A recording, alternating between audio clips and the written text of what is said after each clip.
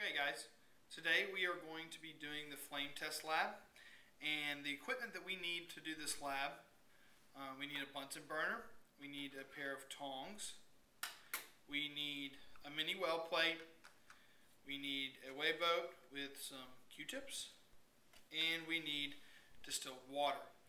Now, in the mini well plate, we have eight different compounds that we're going to be testing during the lab.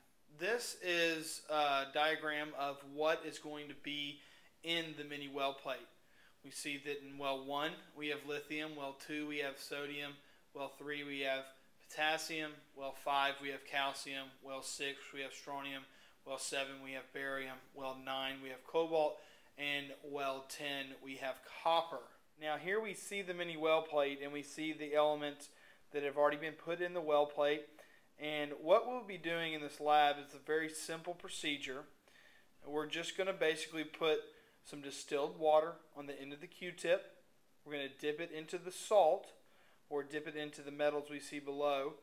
And then we're going to put it in the flame and we're going to look at what color the flame turns. Now, like I said before, I'm just going to show you the procedure.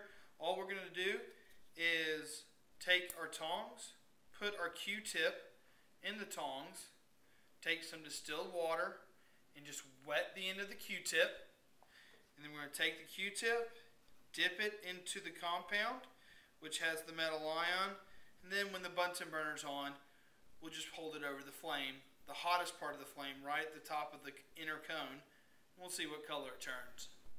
Okay guys, the first element that we're going to start off with, first metal we're going to start off with, is lithium.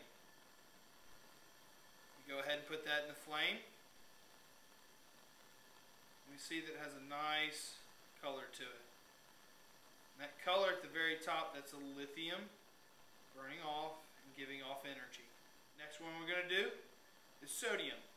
So we put sodium in there. You see that we have a nice color change. And that sodium's burning off.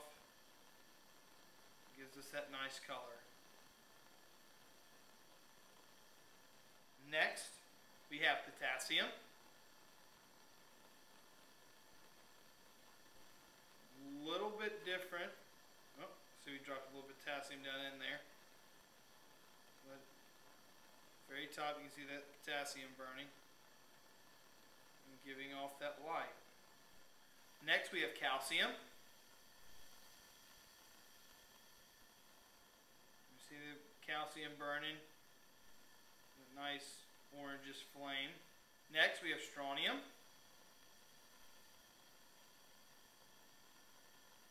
Burns, you can kind of see it off a reddish orangish color.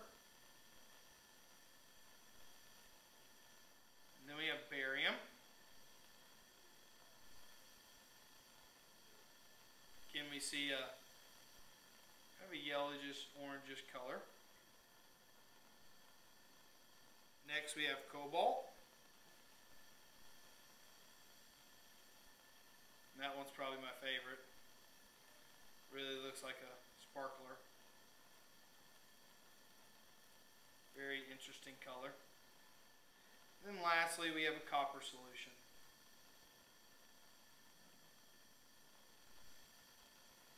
And you kind of see it right there, it's starting to go.